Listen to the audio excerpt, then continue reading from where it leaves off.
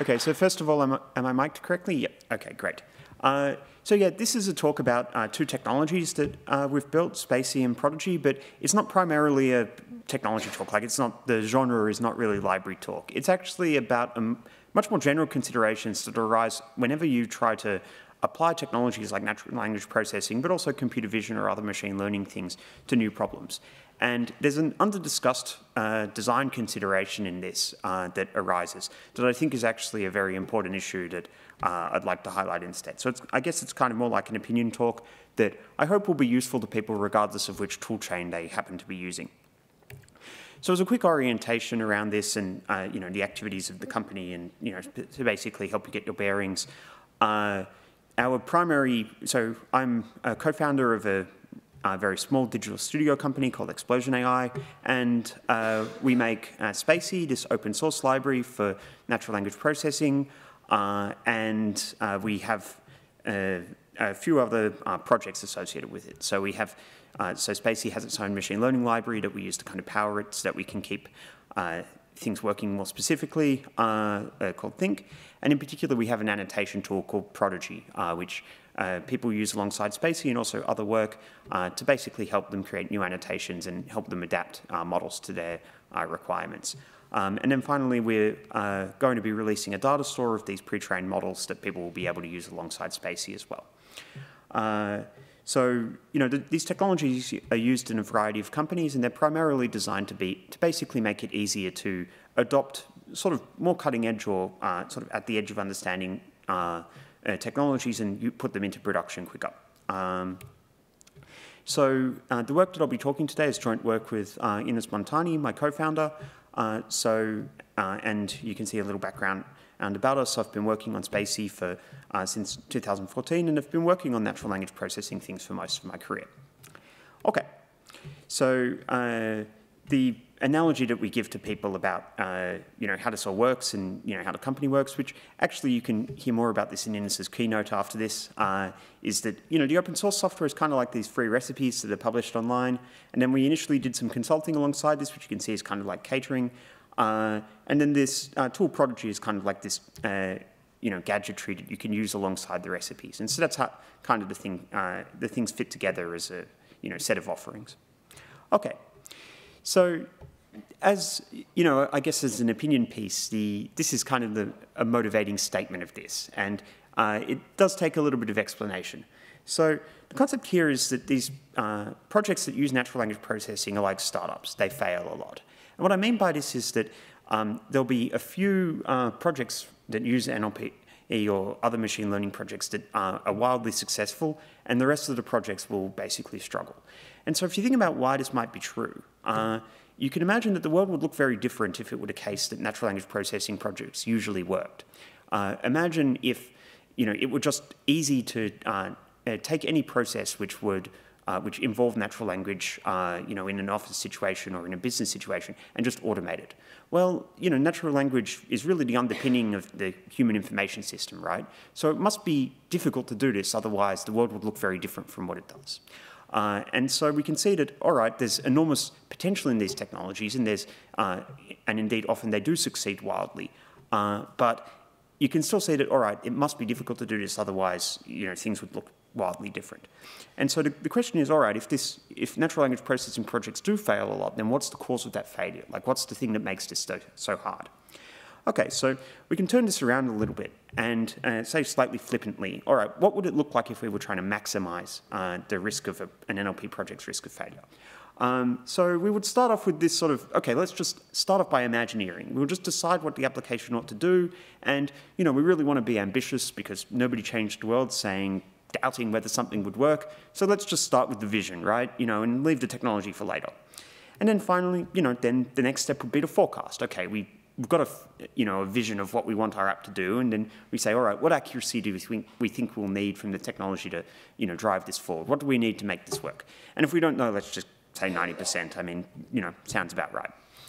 Um, then, you know, like there are some details here which we don't care so much about. So, you know, next we'll just outsource the data collection. You know, like it's just click work.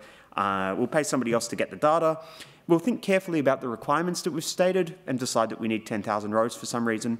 Uh, and then, you know, uh, having got that, uh, we can now start the, the, real work, the part that everybody talks about when they talk about machine learning projects. And this is this uh, process of wiring, this beautiful uh, uh, iterative sequence of tinkering where we implement a network and, you know, tensor all our flows and descend every gradient, optimize everything, tweak our hyperparameters, and come up with something that fits beautifully well on our 10,000 rows. And then, you know, let's hope that it works, and if it doesn't, well, I hope that we have somebody to blame. So, if this is what it looks like you know, when we fail. And, you know, I hope you can see a few suspicions here for why this might not work so well. And, you know, I'll flesh this out a little bit.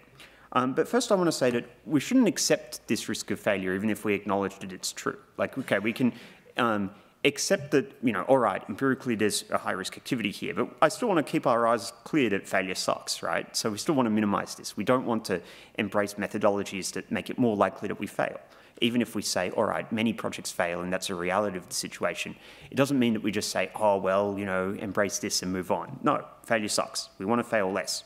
How do we do this? Okay, we can look at, we can start thinking about this as kind of a hierarchy of needs. And I think at the base of this pyramid, uh, the, you know, the sort of core, you know, food and shelter level of uh, this hierarchy of needs is understanding how the model will work in the larger application or business process. So having a clarity of what we're trying to do and where the value is going to come from. What are we trying to ship? How's it going to work in the rest of our application? Why do we need machine learning at all? Um, uh, what can we do without? That sort of clarity of purpose. Then translating that clarity of purpose into an annotation scheme uh, and uh, using it to uh, guide what data we need to collect uh, I think is the next stage of this. So translating the requirements into a set of models. I think that that's you know really a, a key step, and it's the step that I'll be talking about the most through this process. Um, then you know translating that annotation scheme after we've decided what models we ought to have, or you know after this need of uh, models, translating that into an annotation process so that we can actually get the data cleanly.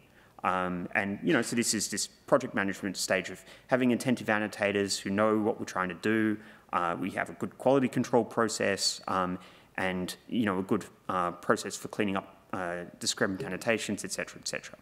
And then finally, at the top of this pyramid, um, the parts that matter less, but also the parts which are discussed much more, are these questions of model architecture, so making smart modeling decisions uh, so that the model's more likely to be accurate, you know, using the, um, uh, the wisdom that's in the literature to basically have, you know, the right technologies or whatever, um, and also optimization tricks uh, so that you know, we actually end up with good weights from this.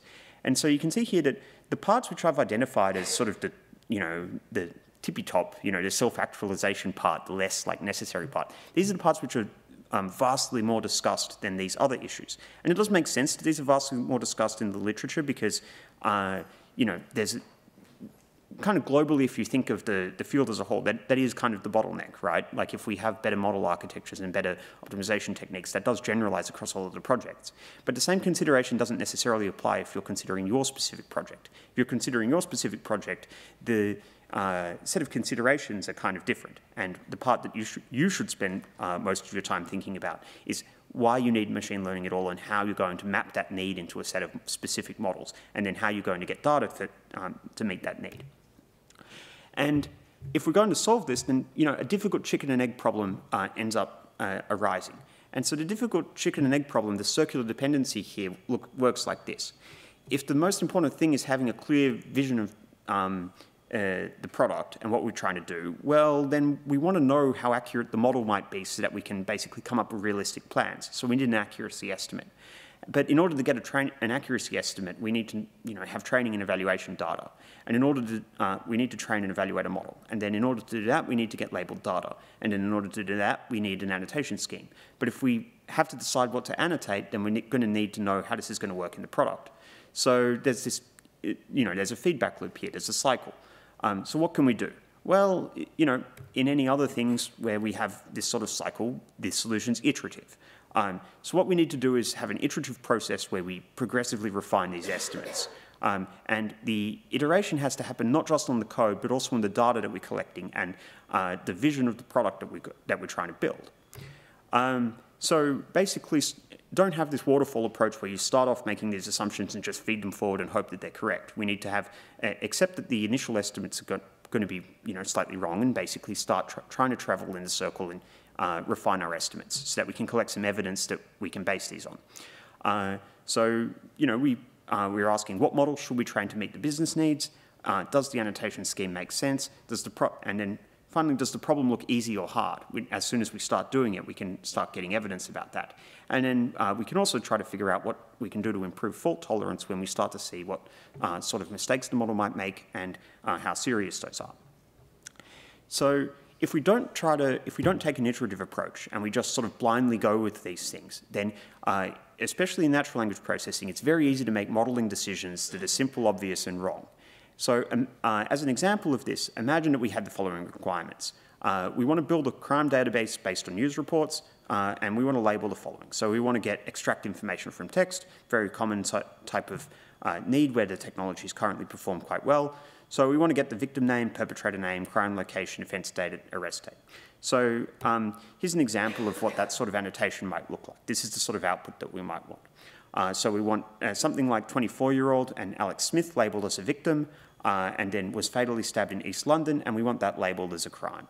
Uh, uh, so, all right, how should we do this? Like, how should we map this requirement into a set of modelling decisions? Well, the simple way to do this, which actually a lot of the you know, current fashion is uh, guiding people towards, is to take an end-to-end -end approach and just basically map this labelling scheme directly to the model and we say, all right, we're just going to have a sequence labeling scheme where we're going to extract that information directly. Now, I suggest that this is quite likely to be an unideal way to approach the problem. Uh, so instead, I suspect that it's actually going to be better to do this. Um, apply a label of crime to the whole text, uh, and then apply more generic labels to the individual entities. Uh, so apply the label person uh, to uh, the entity Alex Smith, the label location to the entity East London, and also the la um, label location to King's Cross. And so what we're doing here is we're factoring the information better. And so to model, uh, so we need to have much uh, less annotation data because we're only adding one bit of information, crime, and we're deciding that once over the whole text. As opposed to, in this example, the bit of information crime is coupled to uh, the first person entity, and also the role, semantic role their victim is coupled into that as well. And so you have to decide that um, all at once. And then uh, as well. In the next one, East London, you have to decide all at once that it's a crime that, and this is the location of the crime. And then uh, again in King's Cross, you have to decide that uh, this is the location, but it's not the crime location, and therefore the label is null. And this makes the, uh, uh the modelling much harder, and you need much more, uh, many more examples to estimate the model this way in many cases. So uh, it's quite likely to be an unideal way to do this, and you should at least explore composing the models in a different way and saying, all right, I'll take, I'll decide once that it's a crime and then compose these things and have a bit of rule-based logic to match this up afterwards. Um, so in terms of what that rule-based logic might look like, uh, uh, this is an example of a kind of generic annotation that can be applied to text from spaCy and also from other technologies as well. Uh, so this is a syntactic dependency parse. So here we can see that the uh, phrase Alex Smith has a syntactic relationship of uh, passive subject to stabbed. Uh, and fatally is a, modifier here in East London is attached as a uh, prepositional phrase. And so we can use this kind of generic annotation uh, in order to basically start building rules to uh, hang our logic on.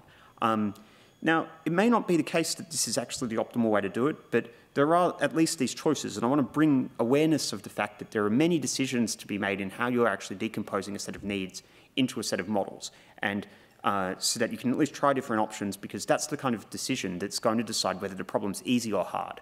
And much more than you know, using a machine learning using machine learning techniques to you know, solve a hard problem slightly better, making the problem easy in the first place is uh, a much higher leverage way to uh, uh get the um, problem solved. So the general uh, sort of approach here is uh, that we can compose generic models into novel solutions. So if we have generic categories like location and uh, person, we can use pre-trained models and just improve them on the data. Uh, and then you can, uh, I would normally recommend annotating events and topics at the sentence or paragraph level so that you don't have to decide the exact boundaries of something like a crime occurred. Uh, instead, you can just apply it at the sentence level rather than coming up with policies which will struggle to enforce. And then uh, for semantic roles as well, you can annotate these at a word or entity level and use the dependency parse to find the boundaries. So this is kind of a you know suggestion of a solution. Um, uh, so this is what the sort of the workflow of this looks like in the specific tooling that we've built, spaCy in Prodigy. Um, and so specifically, Prodigy lets you um, basically quickly spin up an annotation task uh, so that you can start trying out whether it's easy to label sentences with a crime or not. Um, so you basically you run this command, you get a little web server, uh, you make some annotations, they're stored in a database, and then you can train a model from them. And then the, the integration with spaCy is also quite nice. You can uh, basically uh, read this out as a spaCy pipeline, and then read it, uh, you start using this directly. Um, so you get the, the capability of saying, all right, doc dot cat's crime, and you know you see the, uh, the probability there. Um, so uh, the other um, the other problem or the other consideration that uh, I want to raise with this is that um, uh, that I guess often stops you take, from taking an iterative approach that I think is worth uh, uh awareness is that um, if you focus mostly on big annotation projects, um, then it becomes very difficult to uh, collect evidence and very expensive to collect evidence because there's this high startup cost of starting a new project. So rather than viewing annotation as something that has to happen at scale with lots of people and uh, you know, something where the biggest consideration is actually driving down the marginal cost of each additional annotation, actually driving down the overhead of the annotation projects so that you can collect, so that you can try out more things is a uh, much better consideration and a much a thing that's actually going to take more projects from failure to success if you can get these right. And so uh, if you're able to uh, run specific annotation projects much quicker and you know, basically run in a few hours, uh, decide whether something is going to work or not, uh, then you can try things out and basically explore the space of different modeling options. Um, and uh, yeah, so this is the solution that we have to this. Um, basically, even as a data scientist yourself, you should be basically have a methodology or a, a workflow that lets you yourself um, have an idea and just you know label some data and try it out uh, so that you know if you have a, an idea for something that you want to try, you don't have to you know basically um, convene a meeting, convince your boss that your idea is good, who will then uh, get the annotators to give you some uh, time. Then you get the data back and you decide, oh, it didn't work. Instead, uh, just labeling a few hundred examples yourself gives you a much better perspective on whether the thing is likely to work. And then you'll be able to basically try more things and have more successes. Um, uh, then uh, uh, additionally, actually, A-B evaluation is a um, particularly good uh, methodology for this, and especially since it lets you work on generative tasks. Um, so I don't have time to explain this in detail, but um, basically, even if you um, have a, uh, a task where you're trying to output text, so for instance, imagine you're trying to uh, caption images, you can't compare this statically to one uh, annotation to one like reference annotation because you don't know what's a good caption or what's not. Um, but if you use an AB, a randomized AB evaluation, which Prodigy supports, you're able to still rigorously evaluate these tasks well. Um, and I think that that's a very good toolbox uh, tool to have in your toolbox. Um, uh, and then finally, uh, another detail about annotation uh, projects, which people often get wrong, is um, if you think of it uh, primarily as boring work that doesn't matter in your project, um, then it shouldn't be so surprising that uh, you end up with data that's actually unideal. And you also shouldn't be surprised that there ends up being this terrible overhead in your projects of maintaining the quality and making the data good. So instead you can just not do this. Like it's actually not that expensive to hire people who don't have computer science degrees to just do things and you can hire them consistently and like talk to them and stuff. So uh, rather than trying to outsource this pathologically and everything, you can have a few people that work like 30 or 35 hours a week on your thing and you can talk to them and they will work like humans and understand what they're doing. And this is generally a better way to get work done. Um, and so I would actually recommend this rather than you know trying to make people as dehumanized and disconnected from their tasks as possible. So this is, and again, also, if annotation teams are smaller rather than larger, uh, this is also quite good because it lets you iterate. And you know, if you need 100 hours of annotation, it's much better to have three people working for a period of time rather than have 100 people do one hour because then you don't get any time to iterate. Um, okay, and so this is really the, the solution here. Uh, you know, as with any other thing with cyclic dependencies, we can't solve this problem analytically. Uh, we have to solve it iteratively. Um, so we have to um, basically, as quickly as possible, start moving through the cycle and uh, say, all right, what would it look like if I could make this work? Um, here's how we can actually export the model and have it plugged into the rest of the product. Um, and then you see, oh, okay, well, it doesn't quite work well this way. Let's like try it this other way. Um, and moving around that cycle quicker is going to lead to better results rather than having a very siloed perspective of, say, you know, getting lost in TensorFlow for you know weeks, uh, improving the model, the accuracy on some data set that might not even be the right data set uh, for what you want to do. Uh, it's much better to basically be, you know, moving over the whole pipeline. Thanks.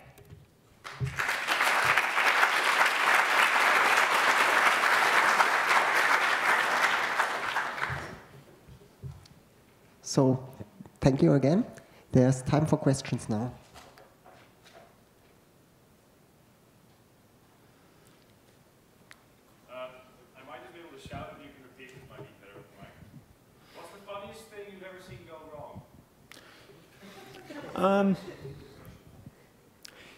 So in terms of what's the funniest thing that I've seen go wrong, um, there's definitely been some misunderstandings about what uh, the technology is able to do and where the, um, you know, what are reasonable product plans and what are not. I would say that the most general thing that, uh, or you know, common mistake that I find like sort of puzzling is the general chatbot enthusiasm, I think, is driven by a quite deep misunderstanding of what the technology is actually doing. And in particular, um, people act as though the primary task is in understanding the message when there's you also still have to have your application actually do the thing that the message encodes.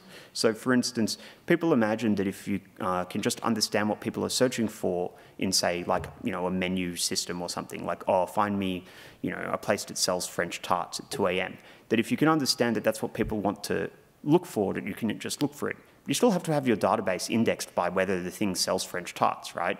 And so the the scope of the scope of capabilities is so much more narrow than people imagine for this, and that's fundamental because you're not just going to like generate code. And so people are like, oh, why is it so narrow? Why do why doesn't it you know why does it feel so stiff? And I'm like, because it's still a program that you've just wired a user interface to. And so I think that that's you know, definitely something that I've seen go wrong in, uh, at a large scale across the industry and uh, people trying to apply these technologies.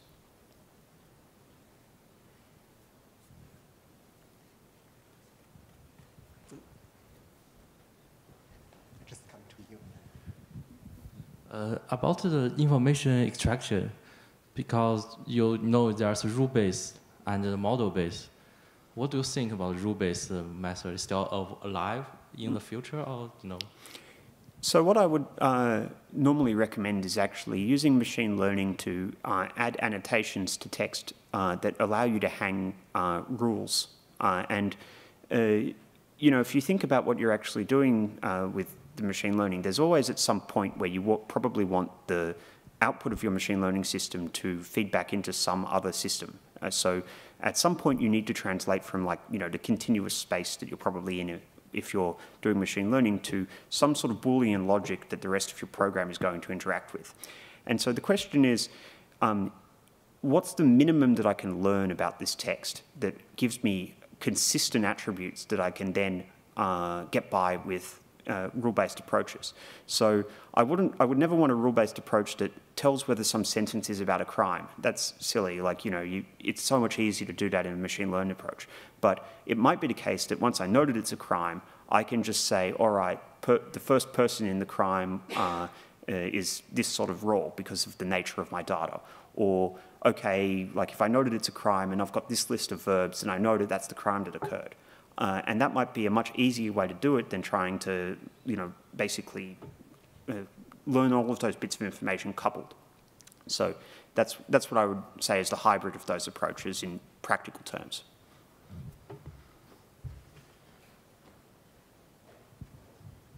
Hi, uh, great talk. Uh, my question is on spaCy. It looks like a really useful tool. How much work is it to add an additional language model to spaCy? So it really depends on what capabilities you're interested in uh, adding. So uh, at this point, the process of just sort of adding a new tokenizer is pretty easy. Uh, and similarly, the, uh, if you have a large sample of unlabeled text, um, the process of training basic word vectors is pretty easy. Uh, but then most languages need, say, lemmatization. Uh, so, you know, you normally want to have, say, uh, jumped mapped to jump. Uh, but in, and in English, that's a very simple process, but in languages like, you know, Finnish or Arabic, it's like actually quite a, an involved process.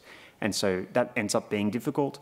then for most of the other things, you really need to have data. And so there's uh, some data sets which you can license um, or which you can use depending on you know, the, the licensing terms you need. But uh, in many situations, you actually don't have a pre uh, a suitable corpus, and then you have to create one. And so we're interested in doing annotation for this uh, using Prodigy, uh, but we want to do because we want to basically pay for that. We um, these are likely to be more commercial models. Um, but there's definitely uh, you know some data sets out there which are available, and so we do want to provide uh, models on those on that basis, basically, you know, free like the current English one. Great talk. So um, I really liked your instructions. Uh, will they be available online so I don't have to like copy them?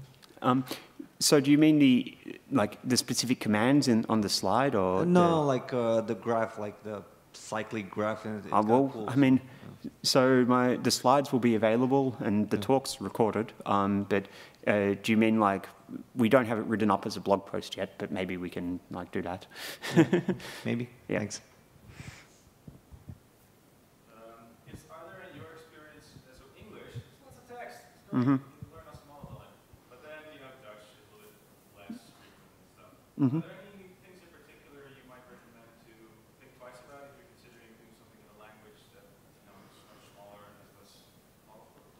Um, so the question is about what the considerations are about how well the technologies will work on different languages. Um, so in general, um, the less like a language is, the less like English a language is, the worse everything works. So English being the language most like English, everything works pretty well.